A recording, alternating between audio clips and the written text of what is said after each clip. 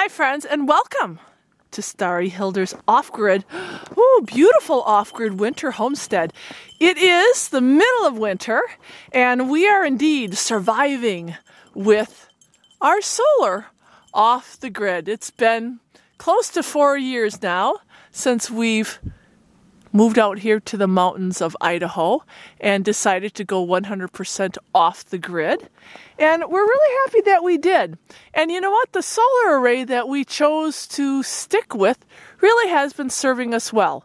We've learned how to re- refine things, we've learned how to uh, fine tweak things, and for the most part, when winter comes around, along now, we don't have any problems surviving off of the electricity that this array provides us.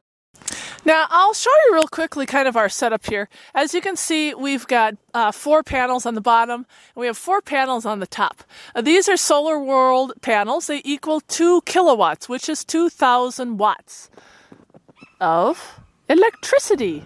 So, on a day like today, we're actually on float, which means that the batteries are pretty much uh, topped off and we're at full capacity and that and that's a good thing. So winter winter days when we have sun like this, woo, it's a good thing for the solar uh, batteries and for us. I'm going to keep it real simple. These are Solar World 250 watt mono crystalline panels. Okay, that's what they are. There's a lot of different brands out there. Is one better than the other? I did so much research before I went off the grid. I did a lot of research. I became like a solar expert. I, I should have gotten a, a PhD in solar, really. I read so many books and so much material, and I would read the specs on all these solar panels. And it came down to they're all pretty close. Uh, you know, and, and the good thing about the solar panels nowadays is that they're all pretty efficient. Uh, they all are very durable. They have good warranties. Uh, you can get them shipped right to your house. You don't have to go uh, with a, a, solar guy and, and, and, and, and pay through the nose. So you can get them shipped right to your house. You can set them up yourself. They're not hard to set up. And actually, it's going to be the cheapest part of your solar setup. Absolutely, hands down. So, the other part of uh, this array here, and I'm just going to quickly do a little ditty for those of you who don't know. We have a very tall pole. You see, look how tall that pole is. Well, you know, sometimes when you go off the grid, there is a learning curve.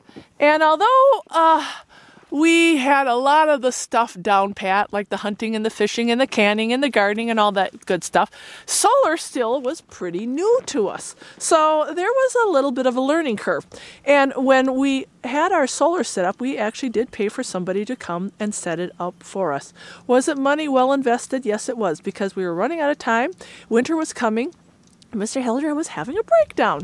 So the guy decided to build us this huge pole, and on the top of the pole, he actually uh, thought a wind turbine would be the way to go. And we thought too. I mean, it sounded like a good idea.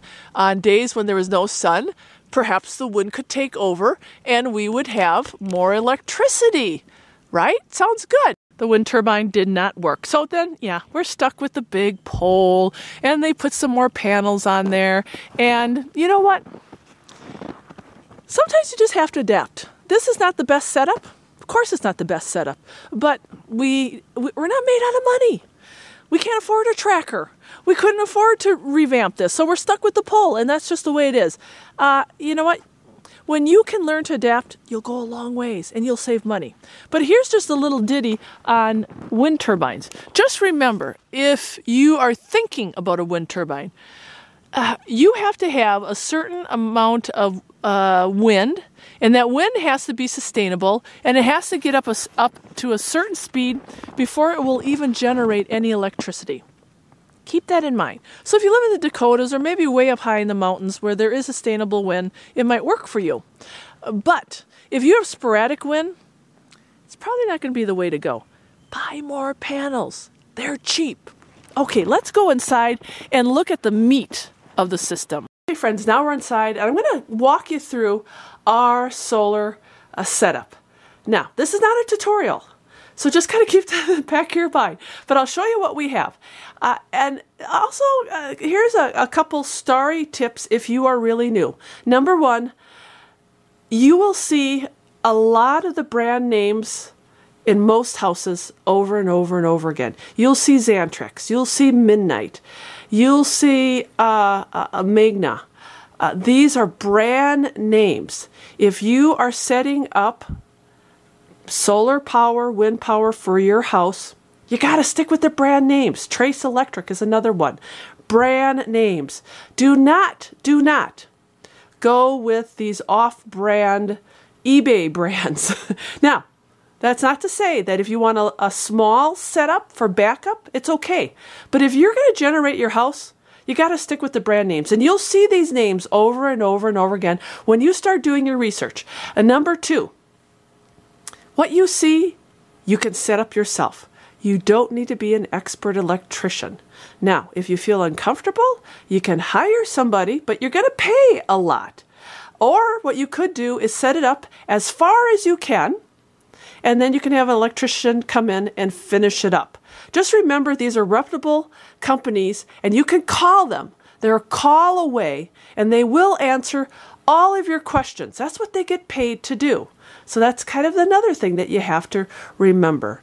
Uh, number three, buy these uh, components ahead of time. That's what we did to save on the cost. We spread it out throughout the years. All these components can be shipped to your house directly.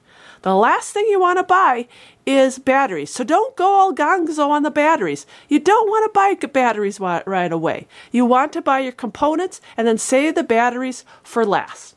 So let's just go through our setup. And as you know, uh, we have a small house. I don't know how many square footage it is, maybe a thousand square feet, but we can run just about any electrical appliance with our setup.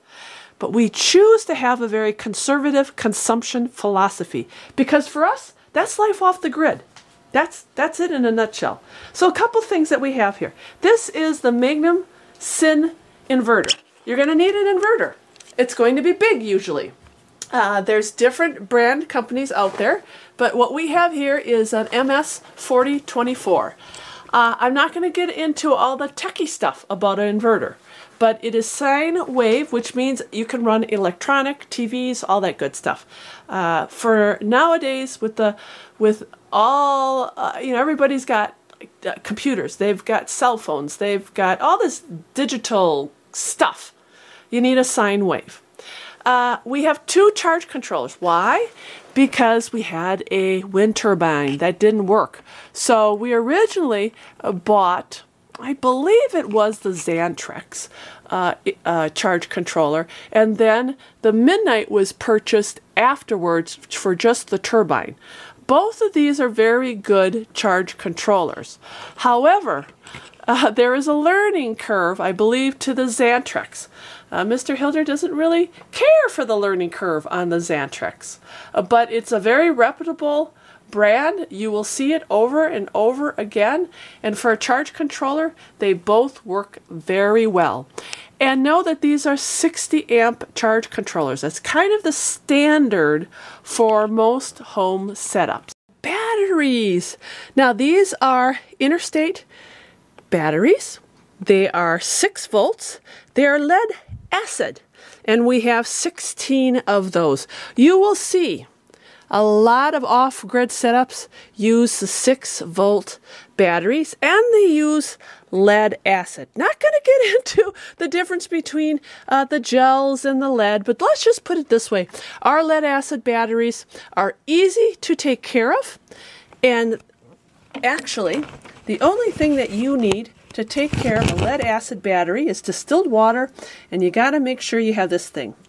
This is a, a. See? There you go. So if you don't have one of those, then you're probably not taking care of your batteries too well. But we like the lead acid because you can actually take the caps off. You can visualize the water levels. You can check it with the refractometer. And you're good to go. The other thing is, if you notice, we elected to build our battery box inside the shop area. I did a video on batteries and the care of batteries and make sure you watch it because bring you to some sources here this is this is where you got to do your, your your research friends this is the solar electricity handbook of 2017 and just know that lead acid batteries don't like the cold. So 77 degrees Fahrenheit is where the battery really likes to be. And it doesn't like to drop below 59 degrees Fahrenheit. So keep that in the back of your mind when you are planning where you are going to put your batteries because a too cold a battery is no good for you and actually a too hot a battery is also no good for you. You you get up past 90 degrees that's not good either. So this is the thing with where we live. We chose to bring our batteries inside to the shop area because we have those extremes here. We have you know 30 40 20 you know that's winter and, uh, we get below zero and then the summer we get up to 100 degrees neither one of those extremes are good for the batteries so keeping your batteries outside say in a shed I was at that off grid uh, healing place and they had a shed for their batteries. Sounded like a good idea, right? But right now, when it's below zero, trust me, those batteries are being taxed and they're probably frozen because that shed wasn't insulated. It had no source of heat. And then on the flip side, you can have a really awesome battery insulated box, but if you have 100 degree weather and even if it's out of the shade and it's the middle of summer and you're charging your batteries, I hope those batteries don't explode because over 90 degrees is bad for your batteries. So really think long and hard about the location of your batteries and what what any solar uh, battery expert would probably recommend with lead acid batteries is you bring them inside to a location like your shop that's heated or garage that's heated. Uh, uh, where uh, in the wintertime it's going to be in a warmer environment, and in the summer, then it's going to be cooler because batteries will last a long time at that optimal temperature. Starry and Mr. Hilder's off-grid solar setup. Now you know, wasn't a tutorial, and I kind of got carried away with the battery tip, but you know, it's a good tip. So for all you friends who, oh, you really are thinking about this life, and you think you can't do it, you can do it. We're not experts, but I tell you what, we didn't need to get a PhD in solar. And we've been doing this for five years now, and we've got it pretty well fine tweaked so that we have all the conveniences of a modern homestead. And we're successfully doing it. Yay! so just remember that. All right, keep coming back for more friends, and God bless as always.